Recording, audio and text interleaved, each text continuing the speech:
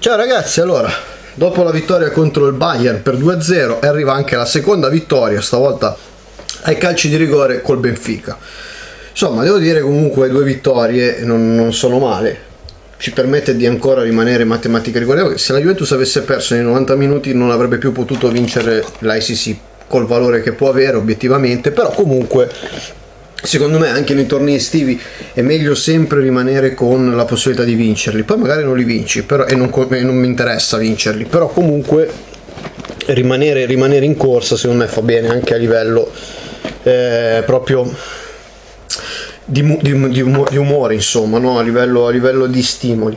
Beh che c'è da dire ragazzi? Io secondo me a me è piaciuta la Juve. A me è piaciuta a è piaciuta devo essere sincero è una delle più belle Juve da tournée non lo so che cos'è se l'effetto Ronaldo, se boh, non lo so, però devo essere sincero, io non vedevo una Juve così brillante nelle tournée da, da tanto tanto tempo.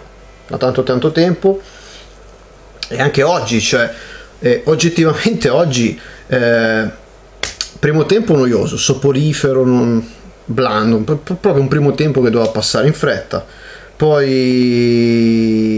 ci ha pensato nel secondo tempo l'avevo visto una bella Juve che mangiato, si è mangiata dei gol pazzeschi poteva tranquillamente chiudere in vantaggio già, passare in vantaggio abbondantemente poi non l'ha fatto ha sbagliato molti, molte palle gol finché alla fine poi il Benfica ha sfruttato la sua con una bella una bella punizione, ha fatto un gol pazzesco, ragazzi, ha messa proprio sotto 7.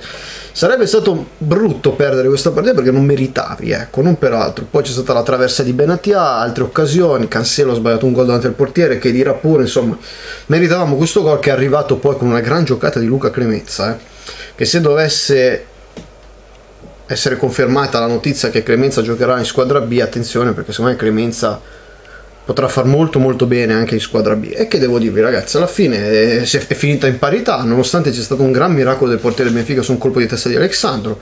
Ho visto una Juve nettamente in crescita addirittura meglio che col Bayern. A me col Bayern non era assolutamente dispiaciuto e poi considerando che Benfica settimana prossima al preliminare di Champions quindi è nettamente più avanti di preparazione.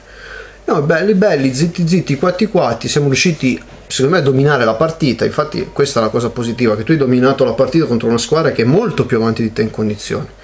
Poi calci di rigore si sa che sono lotterie, però ecco Perin mi dà una sicurezza come pararigori che altri portieri non mi davano, eh. Né Scesni, né Buffon, né, né non lo so io, né Neto, eh, né Storari. Lui, Perin mi dà una sicurezza sui calci di rigore incredibile, eppure boh, è una cosa psicologica mia sicuramente. Detto questo, Benfica ne ha sbagliati due, noi portiamo a casa la vittoria 4-2 rigori, 5-3 totale e andiamo a, qua, e andiamo a 5 punti.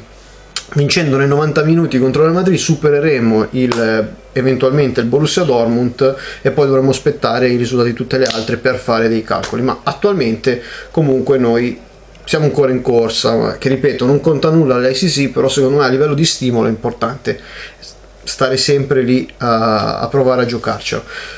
Prossima partita ci sarà Juventus contro eh, MLS All Stars. È la più importante perché per l'MLS è una partita ufficiale a tutti gli effetti. Lo Star Game viene annoverata come partita ufficiale. Quindi sicuramente spero che la Juve non fallisca questa partita perché ci tengo particolarmente anche perché giocare con il Real Madrid ti può ricapitare.